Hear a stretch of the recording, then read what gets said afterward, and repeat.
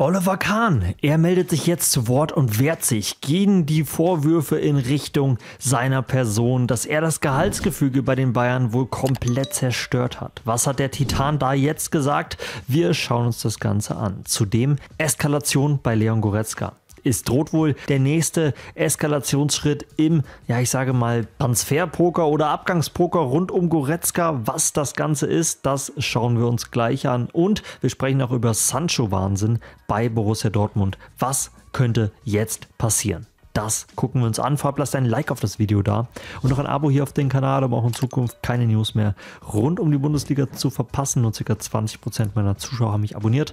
Deswegen lasst doch gerne ein Abo da.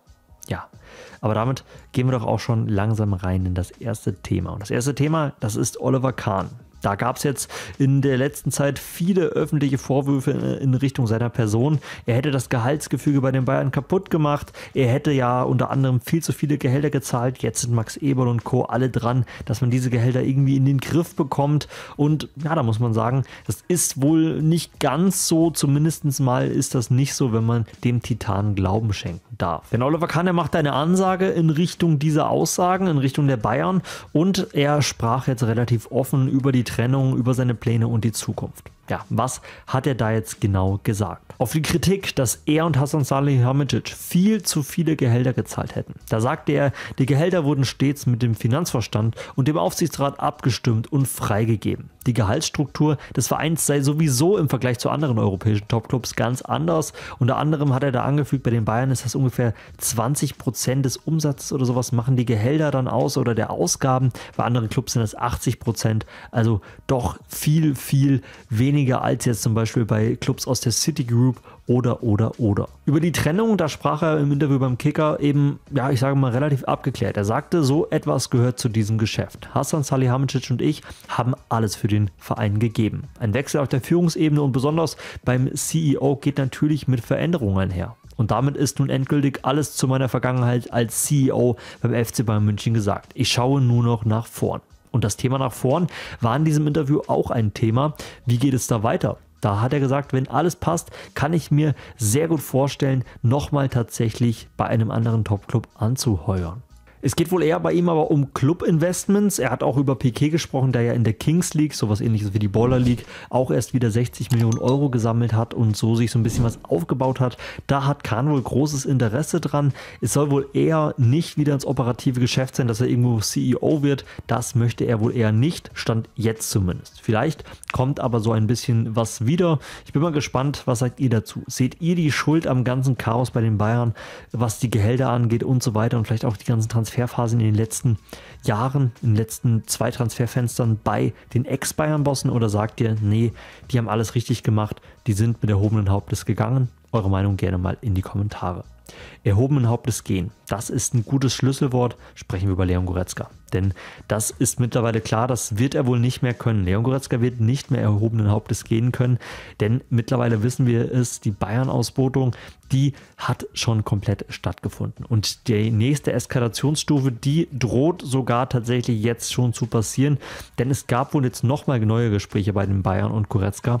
Da wurde ihm jetzt auch nochmal gesagt, nein, auch am Samstag gegen Wolfsburg wirst du nicht weiter Teil des Kaders sein. Wir planen ohne dich. Du wirst nicht nur im Pokal nicht dabei sein, nein, auch in der Bundesliga bist du nicht im Kader. Das hat jetzt die Münchner TZ berichtet. Voraussichtlich wird er nicht berücksichtigt werden. Das große Problem ist, Leon Goretzka, der will, das hat jetzt auch nochmal Sky bestätigt, zu 100% bleiben. Für ihn ist es ja keine Möglichkeit, den Verein zu verlassen. Er hofft weiterhin auf die Worte zum Beispiel von Uli Hoeneß, der sagte ja, jeder hat eine zweite Chance verdient, auch Leon Goretzka.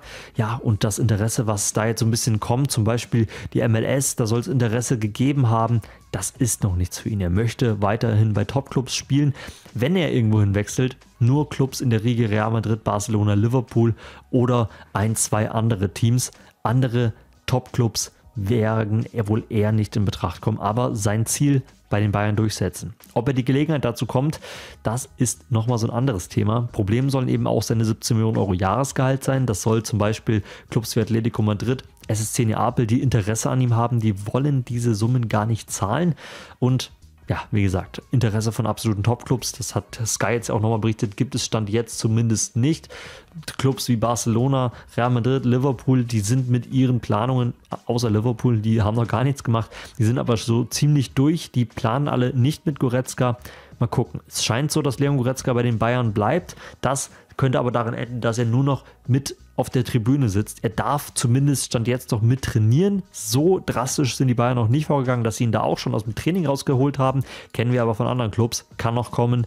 Ist auf jeden Fall dann, ich sage mal, den, the next step, die große nächste Eskalationsstufe. Ich hoffe mal, dass das Goretzka so ein bisschen erspart bleibt, denn das hat der Junge definitiv nicht verdient.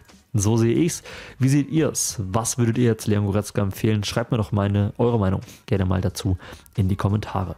Und was würdet ihr denn Jaden Sancho empfehlen? Eine Rück Rückkehr zu Borussia Dortmund? Das ist jetzt ein Thema, was wohl wieder aufkommen könnte.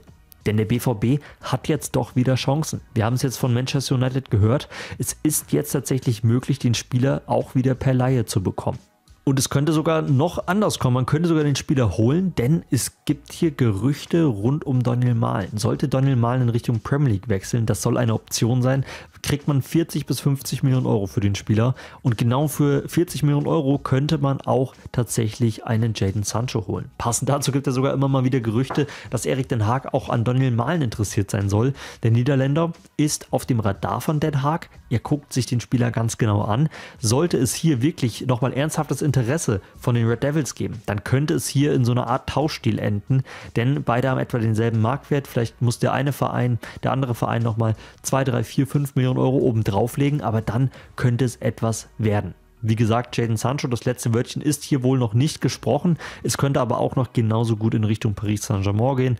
Es könnte aber auch noch genauso gut nochmal in Richtung FC Chelsea gehen, denn das sind auch aktuell Clubs, die wohl richtig heiß auf ihn sind.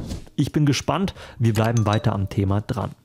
Da kommen wir auch schon zum nächsten Thema. Wir sprechen ganz kurz über den Rücktritt von Ilkay Gündogan und damit müssen wir auch schauen, wer könnte jetzt der neue Kapitän werden? Wer könnte jetzt auf Ilkay Gündogan bei der deutschen Nationalmannschaft folgen?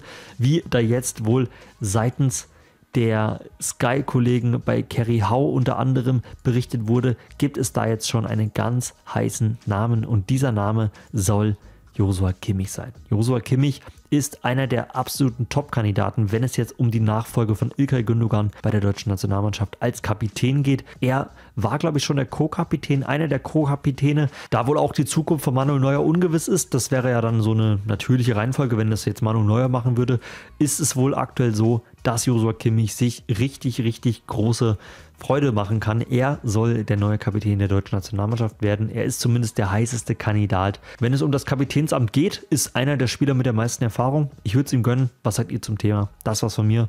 Wir hören uns morgen wieder. Ich hoffe, heute Doppelnews hat euch gefallen. Das war's von mir. Bis dahin, Leute. Ciao.